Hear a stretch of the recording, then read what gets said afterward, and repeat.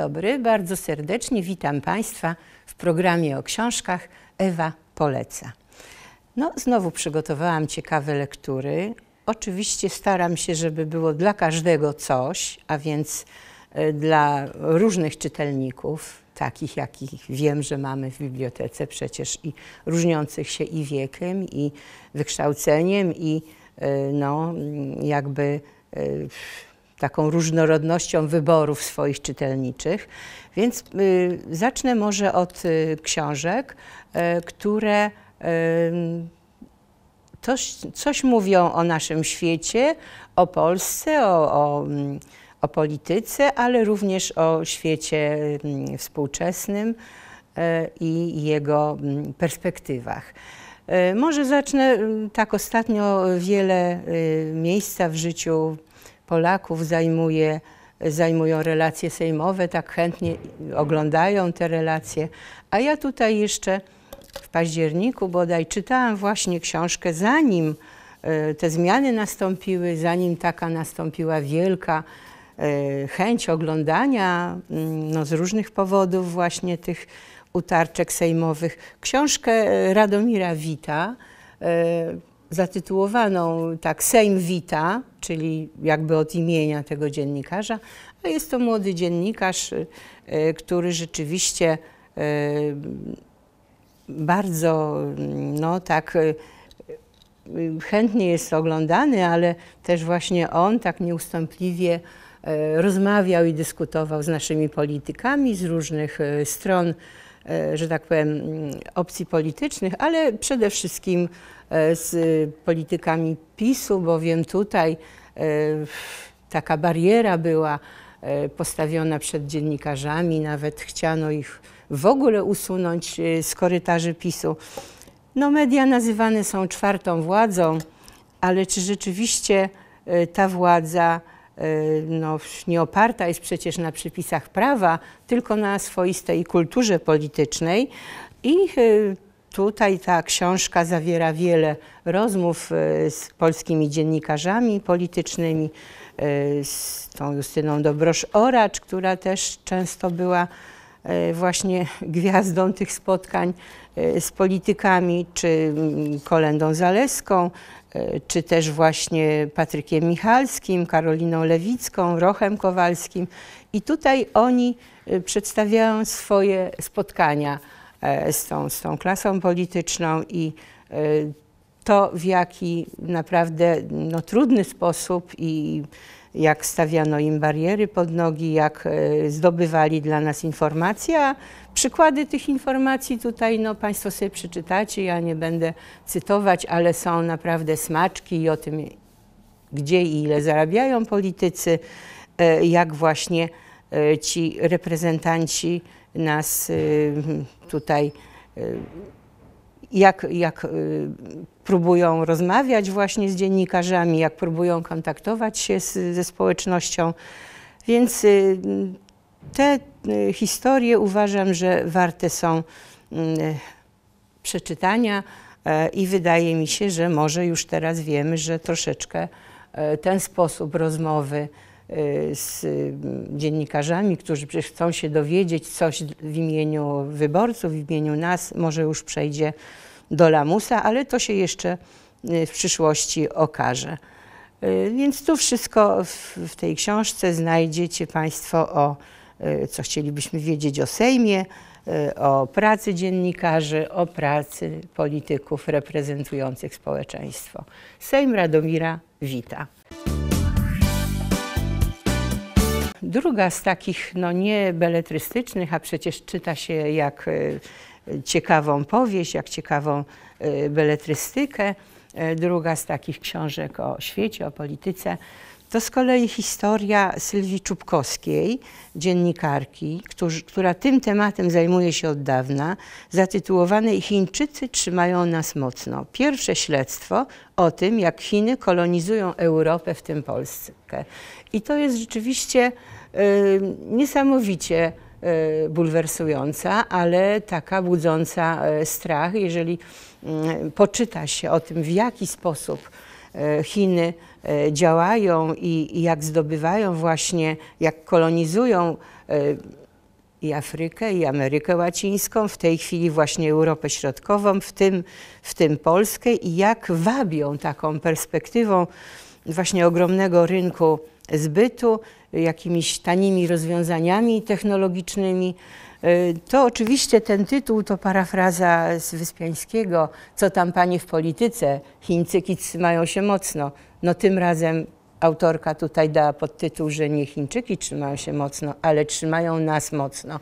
I taka historia, jak chociażby, no ja sobie przypomniałam z pierwszych stron gazet, jak y, y, zaaresztowano przedstawiciela Polski i przedstawiciela Huawei, y, Wanga, y, który przybrał y, polskie imię, zdaje się, że Stanisław. I właśnie jak w bodaj 2019 roku, jak on przekupił tego przedstawiciela polskiego jakimś wyjazdem, opłaceniem tych wyjazdów, jak właśnie E, cała ta historia z tą siecią Huawei i właśnie e, jak, jak, jaką wielką korupcję tutaj właśnie była, e, była ten, był ten związek Polaka i Chińczyka, ile to nakładów było. No, zostali aresztowani i również taka mm, jakby sieć szpiegowska związana właśnie. Tak Chiny robią, pokazują taką um, dobrotliwą twarz, na przykład ten miś panda jest takim synonimem tej dobrotliwej twarzy Chin, ale tak naprawdę to jest okrutny smok e, i, i właściwie e, smok, którego należałoby się by się bać, zionie naprawdę wielkim ogniem. E, to jest wnikliwe śledztwo dziennikarskie. Ta Sylwia Czubkowska, dziennikarka ekonomiczna i technologiczna, ona y, naprawdę wiele poświęciła, żeby te informacje zdobyć, ujawnić. Y, pisała o tych aferach y, wiele już tekstów, właśnie o takich historiach związanych z chińskim wywiadem w tle.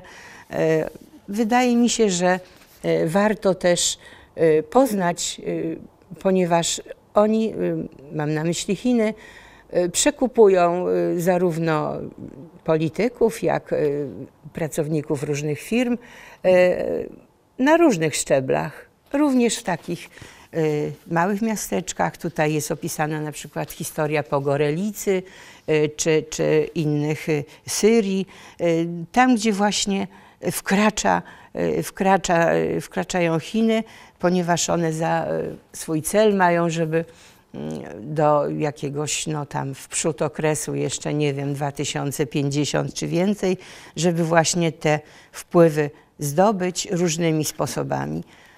Lektura naprawdę y, warta przeczytania, jest to takie wnikliwe śledztwo, wabią pieniędzmi, wabią rynkami zbytu i takimi właśnie mm, technologiami, no wydaje się, że tanimi, ale wtedy przejmują fabryki, Y, różne, różne media, różne marki, y, a informacje o naszym kraju pozyskują naprawdę z różnorodnych źródeł, y, z mediów społecznościowych, i z telefonów, i z komputerów. Tutaj nawet śmieje się autorka, że nawet z odkurzaczy i oczyszczaczy powietrza, bo to też im coś mówi, też im coś mówi o, raz, o nas. Korumpują władzę na wszystkich na wszystkich szczeblach. To, co się tutaj przeczytało, co opisała ta dziennikarka, naprawdę e, włoży, w, jeży włos na głowie. Jeszcze taka też książka, zanim przejdę do powieści, e, no taka bym powiedziała popularno-naukowa, ale w takim szerszym jakby, e, szerszym znaczeniu cywilizacji, historii świata, Marcin Napiórkowski Naprawić przyszłość. Dlaczego potrzebujemy lepszych opowieści, żeby uratować świat? Ten autor, Marcin Napiórkowski, jest semiotykiem, y, profesorem w Zakładzie Kultury Współczesnej.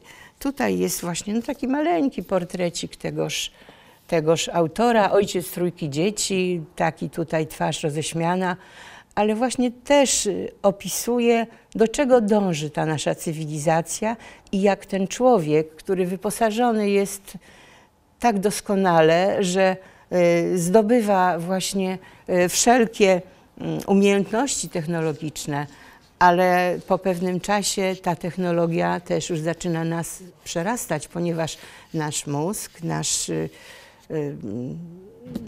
nasza, nasza osobowość, człowiek nie potrafi już jakby rozwinąć się tak dalece jak ta technologia, którą przecież sam, y, sam tworzy, sam wymyślał. Y, no tutaj jest taka historia y, jakby pomiędzy tymi, co są technosceptykami i właśnie tymi, którzy, dla których właśnie ta technologia, ta ewolucja człowieka, no właśnie jest taką, no jakby Y, mierzalnym takim czynnikiem y, do rozwoju y, człowieka i cywilizacji, ale też niektórzy twierdzą, że to dąży do zagubienia. Ludzie są doskonale przystosowani do zmian. To jedna z cech, które według Heiniga i Weinsteina zadecydowały o naszym spektakularnym sukcesie ewolucyjnym. Obecnie tempo przemian wywołanych rozwojem technologii jest jednak zbyt szybkie by nasze mózgi i ciała miały szansę nadążyć. Albo zwolnimy, albo zabije nas własna siła, jaką jest zdolność do innowacji. Ludzie tworzą technologię, a następnie technologia zmienia ludzi. Skoro nie potrafimy w pełni przewidzieć i kontrolować tej zmiany, powinniśmy być niezwykle sceptyczni wobec wszelkich nowych rozwiązań. Problem polega na tym, że wszyscy jesteśmy zaplątani w postęp i trudno się z niego wyzwolić. A więc takie też tutaj pesymistyczne mm, mm, prognozy naukowców, bo ta książka oparta jest na wielu pracach naukowych, na wielu badaniach, e, no paradoksalnie okazuje się, że człowiek był najszczęśliwszym zanim osiadł, zanim zaczął uprawiać rolę, że był tylko właśnie takim wędrowcem, zbierającym to, co Ziemia oferuje i jako właśnie taka osoba, że ta cywilizacja nam jednakże bardzo zaszkodziła. No dla tych, co y, jakby dążą i lubią takie naukowe wyzwania, to jak najbardziej polecam. E, tutaj są przedstawione różne badania, ale też bardzo y, długa jest bibliografia prac, na podstawie których pan profesor Napiórkowski, semiotyk, y, tę książkę napisał. To uwikłanie człowieka te nowe technologie oraz no, współczesne mity, które kierują naszym życiem. Wydaje się, że E, jest to taka mądra i znakomicie napisana książka. Momentami także czyta się jako e, no, niezwykłą, interesującą właśnie powieść, opowieść.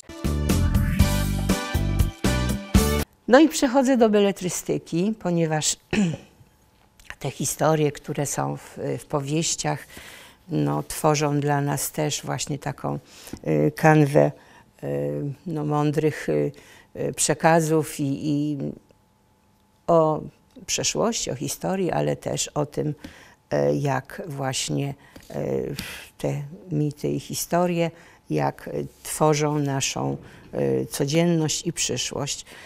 Tutaj taka książka Mikołaj Łoziński się ukazała, Stramerowie. Jest to druga część. Ja przyznaję, że kiedy pierwsza część Łozińskiego, Stramer zatytułowana się ukazała, jakoś do mnie Mm, nie przeczytałam, nie dotarła, chociaż e, ona też otrzymała e, nagrody chociażby Nike, e, czy, czy właśnie nagrody, mm, literacka Nagroda Europy Środkowej, Angelus. Sam autor mieszka w Warszawie, rocznik 1980, więc też posiłkował się pisząc tych stramerów. Całym mm, tutaj wykazem jest bardzo długi, długa lista i beletrystycznych, i, i takich y, naukowych i popularno-naukowych książek do tego tematu. A temat jest, y, jest to taka wielogłosowa powieść o y, rodzinie żydowskiej, o tych, którzy tak troszeczkę, ta rodzina tak troszeczkę pod prąd wielkiej historii działała Natan i Rywka wychowywali w międzywojennym Tarnowie szóstkę dzieci. I teraz co się stało z tą szóstką? Po, wybuch, po wybuchu wojny to dorosłe rodzeństwo Stramerów odnajduje się w Lwowie mm, i tutaj rozdziela ich niemiecka inwazja. Jedni uciekają z tego Lwowa do Warszawy, y, in, inni przechodzą jakby dalej, pracują, y, pracują właśnie w, y, o, tutaj na Syberii, y, trafiają do Stalińska, jakby sami się tam zgłosili, tak więc taka, mm, taka historia z tą jakby komunistyczną jakby historią tych, tego rodzeństwa, Rudek i Berna i oni potem mm, przybywają później tutaj z Moskwy z oficerem Jeden z nich jest oficerem armii Berlinga. Y, z kolei następny, bo to mówiłam szóstka, Sałek, uczestnik wojny hiszpańskiej, działa we francuskim ruchu oporu y, i losy najmłodszej dziewczynki y, Róży, córki Rudka, która, którą ukrywa e, opiekunka przedwojenna, mówią o niej babunia, w takim okupacyjnym Krakowie. A więc akcja toczy się w różnych miejscach Rosji, Polski i pokazuje właśnie taką namiastkę normalnego życia, bo oni wszyscy mm, no tak potrafili się e, jakby czy na ryjskich papierach w jakieś tam środowisko, w środowisko wtłoczyć. I y, tutaj właśnie taka pokazana jest historia. Najpierw myślałam, że ach, tak tylko przelecę, ale wciągnęła mnie ta książka, bo tak jest inaczej to napisane. Y, wiadomo, że ta y, martyrologia, ta historia Żydów w Polsce jest niesamowicie niesamowicie smutna, okrutna, że przecież te 6 milionów zamordowanych to samo mówi za siebie, ale tutaj poprzez losy tych konkretnych osób, mm, właśnie z tej rodziny Stramerów, y, które tak działały w różnych środowiskach i pokazane są właśnie te różne historie, mm, no to jest y, coś, co też warto tak przeczytać i uświadomić sobie i przypomnieć. Bardzo ciekawie napisana.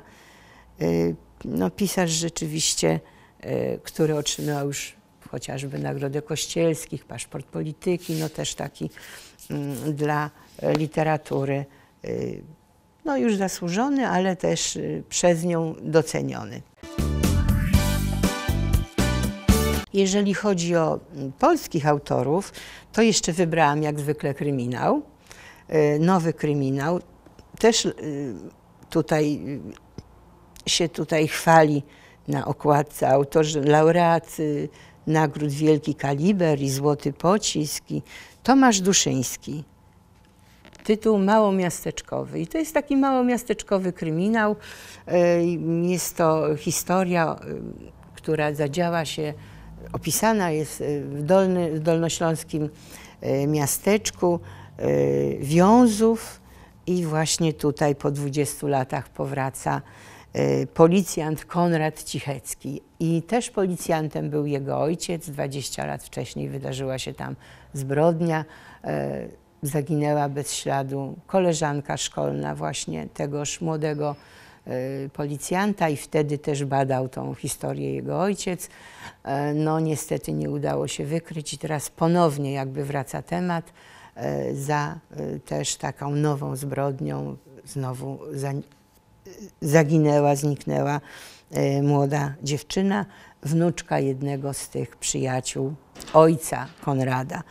No oczywiście jest to, e, jest to taka e, tajemnica rzeczywiście skrywana, czy ten powrót jest przypadkiem, nic Państwu nie powiem, ale świetnie się to czyta.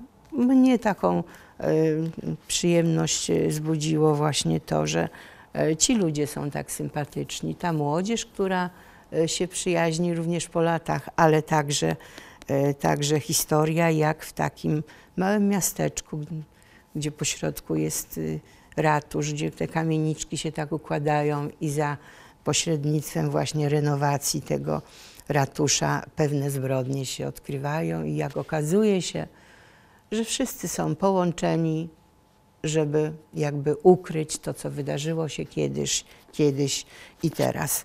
E, dobrze się czyta taki y, prosty język, dobry i sympatyczny, sympatyczni y, bohaterowie. To jest autor, to pan Tomasz Duszyński, y, który właśnie takie historie tutaj opisał, pełne takich niedopowiedzeń i nagłych zwrotów akcji. Rzeczywiście do końca jakby lektury nie wiemy, nie wiemy kto jest tym który popełnił właśnie te zbrodnie sprzed lat. I też historia właściwie dotycząca mm, zabójstwa, wykrycia tego zabójstwa, ale tutaj jest historia dwóch młodych, dwunastoletnich dziewcząt. Y, Beatrice Salvioni, taki tytuł Wiedźma. No tutaj mm, też to wydawnictwo Sonia Draga wydało, które właśnie wydaje takie E, ciekawe książki ciekawych e, współczesnych autorów i piszą, że ta Beatrice Salvioni, włoska pisarka, że to jest absolutne objawienie. I ja po, przeczytaniu, po przeczytaniu tej książki rzeczywiście zgadzam się z tą opinią. Mm, ona tak troszeczkę, jak Państwo pamiętacie, czy panie, które czytały, mm, y, takie książki Eleny Ferrante, Przyjaciółki, kolejne części tych książek, czy Joyce Carol Oates. To właśnie troszeczkę w takim stylu i duchu, ale to jest naprawdę, chociaż mała książka, krótka, e, bardzo mocna. To jest książka o tym, jak e, trudno być kobietą w świecie mężczyzn, a tu jest ten okres, rok 36 przed wojną we Włoszech, jak właśnie jeszcze umacnia się ta partia faszystowska. Mm, no i tutaj taka historia, jak biedne dziewczyny, e, jak mają trudno właśnie w tym świecie mężczyzn, tym bardziej, że, że właśnie dochodzą jeszcze mm, te takie historie, że mężczyźni są tacy butni, pewni siebie, a jak jeszcze stoją za nimi pieniądze rodziców, to tym bardziej. E, taka y, historia, która zadziała się w miasteczku Monza i tam właśnie też urodziła się ta pisarka. Y, I y, wydaje się, zresztą y, jest magistrem filologii współczesnej na Katolickim Uniwersytecie w Mediolanie.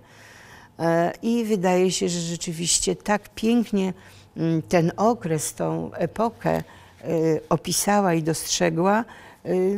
Mocna historia, zaczyna się pięknym mottem Dziewczynce, którą byłam. Autorka poleca tę książkę. Przede wszystkim zaś tym, którzy nauczyli mnie, bym nigdy nie przestawała słuchać jej głosu.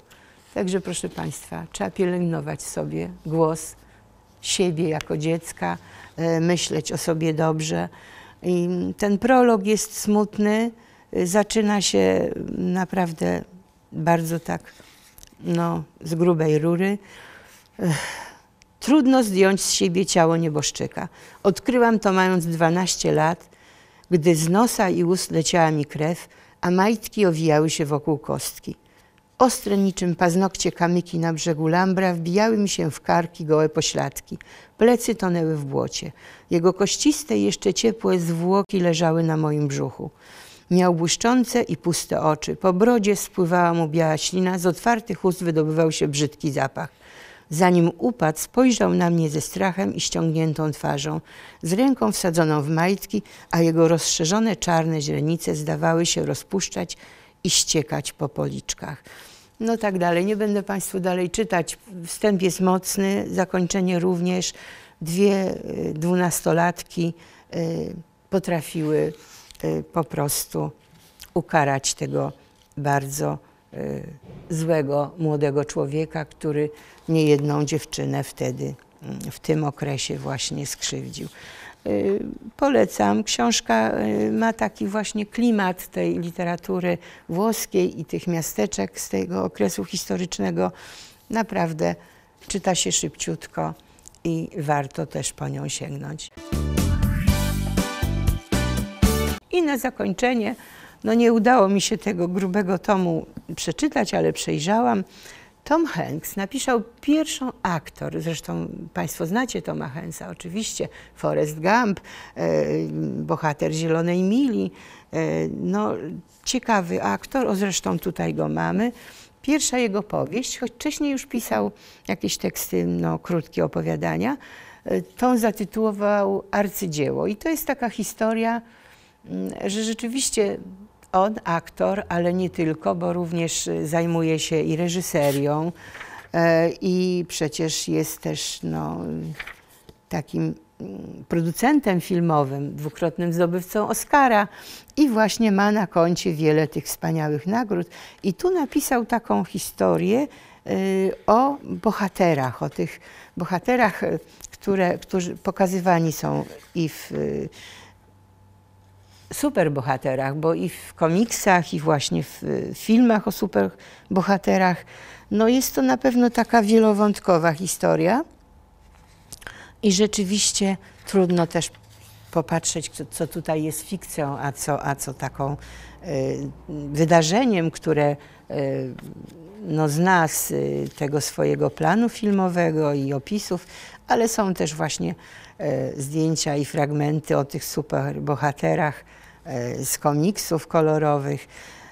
No, w, na pewno dla tych, co interesują się, proszę bardzo, różne komiksy też tutaj, kto interesuje się filmem, a szczególnie właśnie takimi historiami o tych filmowych superbohaterach, to myślę, że E, warto jest tę powieść przeczytać, e, chociaż szczerze Państwu mówię, że nie dotrwałam jakby do, e, do końca mm, tej książki, bo może akurat aż tak bardzo ten świat aktorów, reżyserów, producentów filmowych może mnie tak nie interesuje, ale tutaj jest no, taki kawałek Kalifornii, kawałek właśnie mm, tego środowiska filmowego.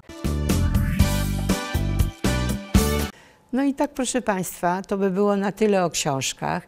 Natomiast, y, y, jak wszyscy tutaj y, doskonale i chociażby za przypomnieniem tej pięknej dekoracji świątecznej, wkrótce zbliżają się święta. E, teraz będziemy mieć na pewno mniej czasu na czytanie, szczególnie panie, które muszą zaopatrzyć swoje domy, swoje rodziny no, pomyśleć, co ugotować, co upiec i za co to wszystko kupić, i te upominki, i te prezenty. Ja życzę Państwu, żeby wszystko się wspaniale udało i myślę, że e, na następne spotkanie e, będzie przebiegać już w takiej świątecznej atmosferze, a tymczasem, drodzy widzowie, Życzę Państwu no, przede wszystkim udanych zakupów, udanych przygotowań. No i do zobaczenia wkrótce.